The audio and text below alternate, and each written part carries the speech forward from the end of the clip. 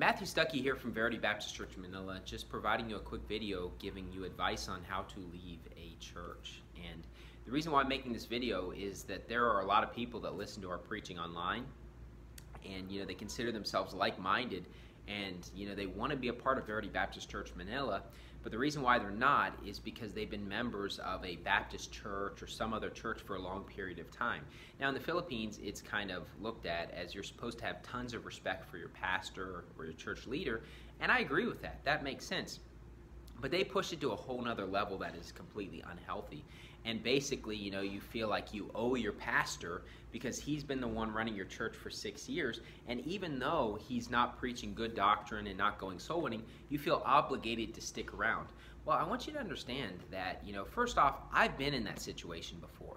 I have left Baptist churches before because they were lame, because they weren't doing soul winning, they weren't preaching hard, and it's not easy. I'm not claiming it's an easy thing to do where you're telling your pastor that you're going to go to another church. But I will say this that, you know, when it comes to churches, pastors are supposed to be doing a few things. They are supposed to be doing lots of soul winning. Just like any other uh, person in the church, they need to be going out soul winning, but also that they're leading the charge. And so they ought to be going soul winning, having soul winning times, soul winning marathons, leading the charge, being zealous. They should be telling soul winning stories from the pulpit in their sermons because they're going soul winning and they're, they're having all these examples that they can use. They should be doing that. And look, if your pastor's not doing that, well, there's a big problem there. But, you know, not only that, but the church is supposed to be the pillar and ground of truth. And as it's the pillar and ground of truth, look, if your pastor is not teaching you anything, and quite honestly, you're learning false things as he's saying that you've got to repent of your sins. And he's saying that, you know what, what that, uh, you know, if you're really saved, you're going to bear the fruit. And, you know, he's not leading the charge. Look, he's not teaching you anything. You shouldn't feel obligated when he's not even doing his job. Look, his job is to teach you the Word of God.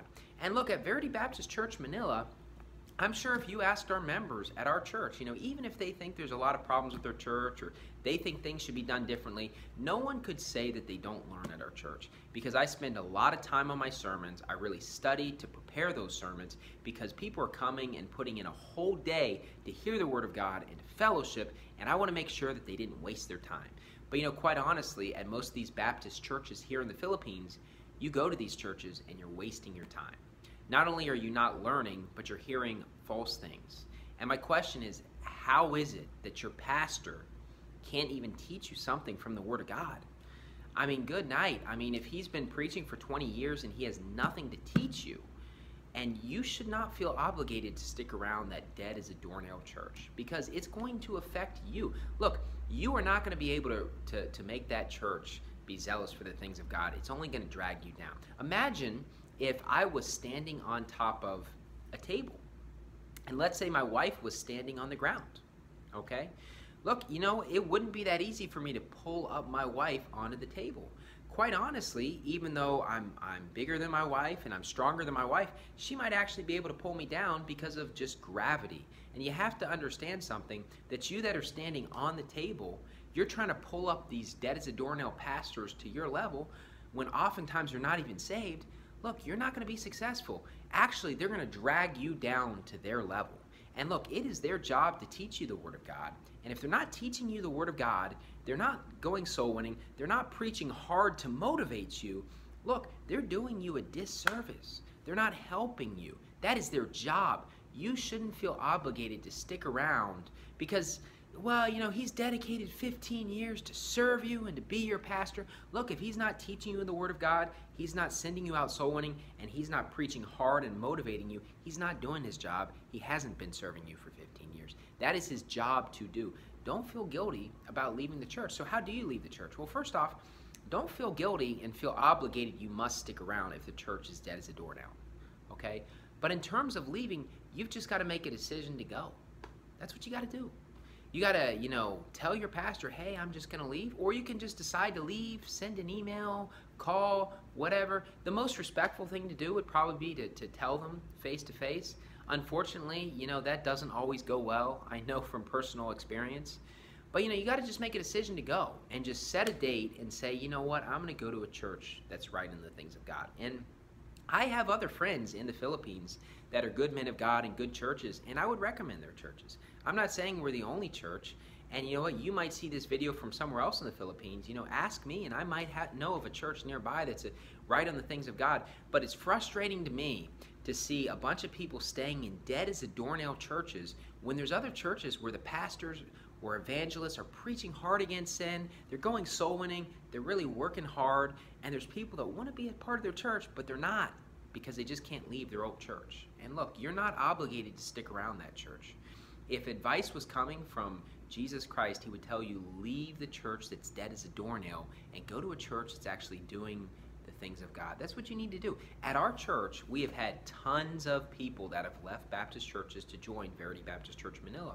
And quite honestly, I think it was probably tough for each and every single one of them because they have friends in that church, they've established relationships, but they knew that they wanted to be right with God, and they knew that it was Verity Baptist Church, Manila, where the people that are going soul winning and reading the Bible and zealous for the things of God, that is where they congregate on Sundays in our area, in Metro Manila. That is the church. And in other areas, it's a different church. But in our area, this is the church where people that are really zealous for the things of God come. And that's where you ought to be a member if you're in the area. Because as far as I know, there's not really a good church in the area outside of it. And you know, quite honestly, a lot of you are going to see this video and agree with me. You got to just decide to leave your church then. If, if you want to be a member of this church, you got to just decide to leave your old church that's dead as a doornail. Look, many people have done the exact same thing. I've done that before. Most of the members of our church have done that as well. And unfortunately, sometimes you lose friendships, you lose uh, close relationships with family, you get persecuted. But you know what? There's a cost for serving God. And quite honestly, if you ask the members of our church that have left to join Verity Baptist Church Manila, none of them regret it. In fact, they're very happy. It was so hard to make that decision at the time, but you know what? They don't regret it now.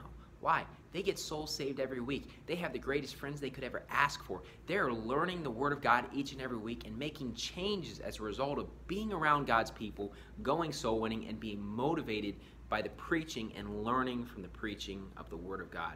If you want to leave, if advice for leaving your old church, hey, just make a decision to leave and just do it. That's what you got to do. Otherwise, you're going to vex your righteous soul day by day. And quite honestly, you could save yourself a year of living a miserable life and just rip off the band aid now and just join the best church in your area. And you know what? Eventually, the pain goes away. It hurts when you rip off the band aid. It goes away, though, after 10 minutes. It's gone The feeling's gone. You will not regret it. Thank you, and God bless.